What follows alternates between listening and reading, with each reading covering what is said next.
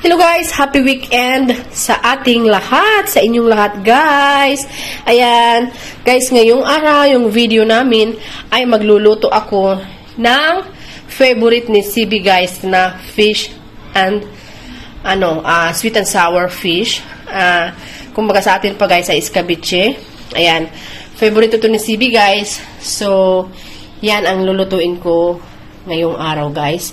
Fish is escabeche or uh, sweet and sour guys. Ayan. So, ipapakita ko sa inyo. The ingredients, ayan.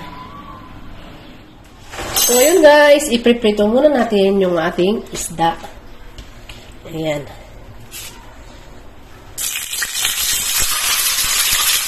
Tadan!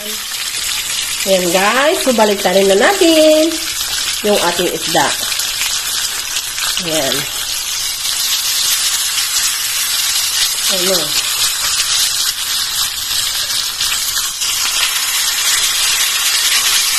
Ayan.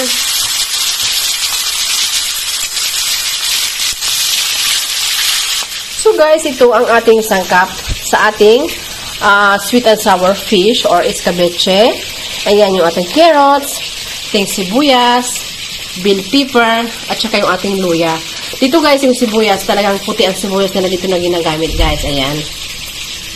Tapos guys, kunting paminta, kunting brown sugar, at suka. Ayan guys, yung ating ingredients sa ating escabeche. Ngayon guys, igigisa na natin yung ating sahog. Ayan, unahin muna natin yung ating sibuyas.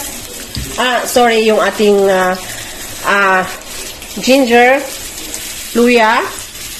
Tapos, isunod natin guys, yung ating sibuyas.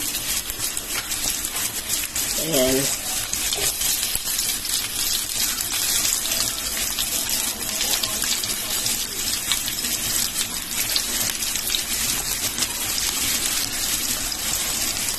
Oh, sorry.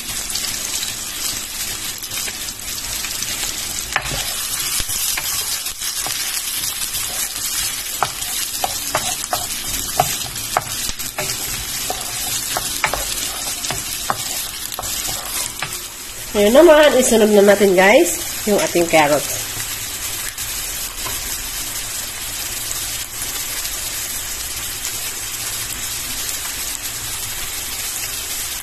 Tapos yung ating bell pepper.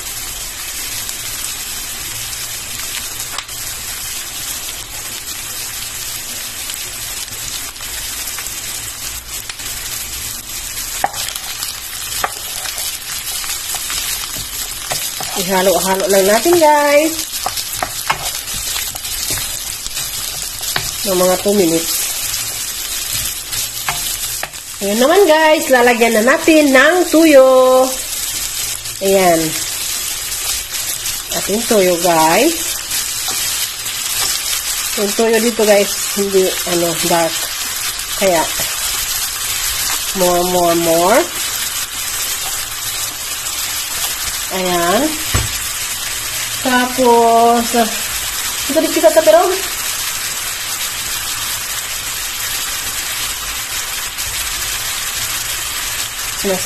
Kunting vinegar, guys. Ayan. Tapos,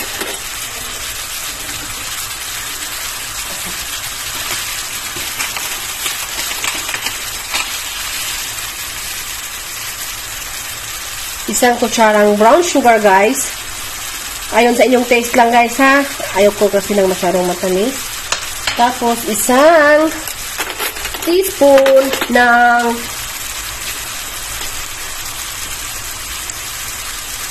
pepper. Ayan. Good. Tapos, isang basong tubig, guys.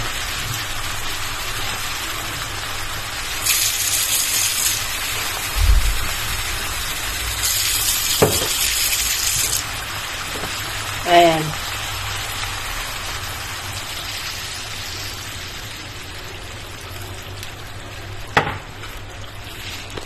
Ayan.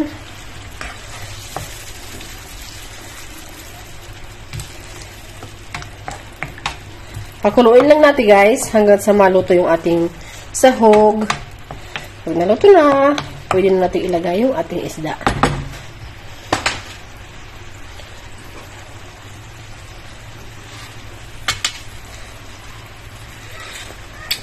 Wow.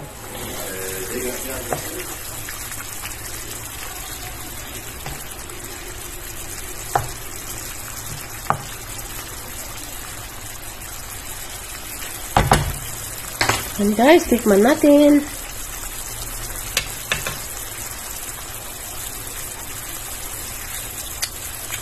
Oh my God. It's perfect. Oh my God. Ayan. Ngayon guys, ilalagay na natin yung ating isda.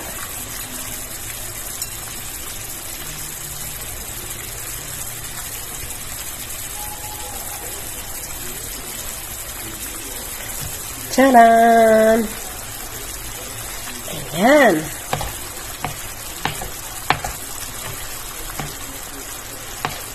Ayan natin ang sauce. Sa ibabaw para naman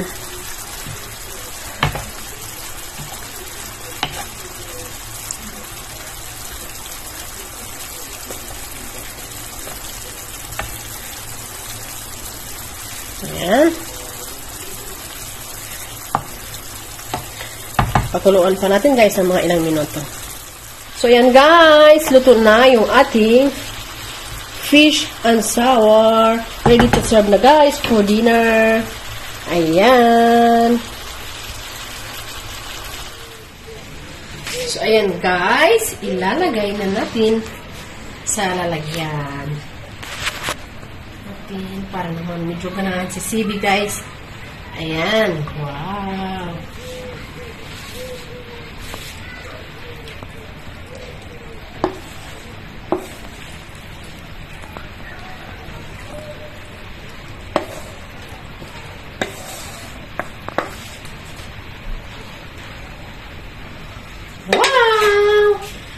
Ayan, guys! Maraming salamat, guys, sa inyong panunood.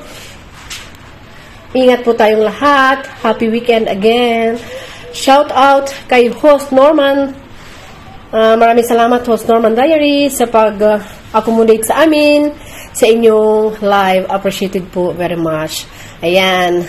Bye-bye, guys. Maraming salamat ulit. Bye!